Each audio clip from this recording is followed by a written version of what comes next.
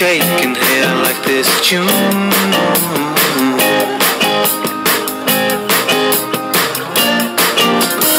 Even if I could hear what you said, I doubt my reply would be interesting for you to hear.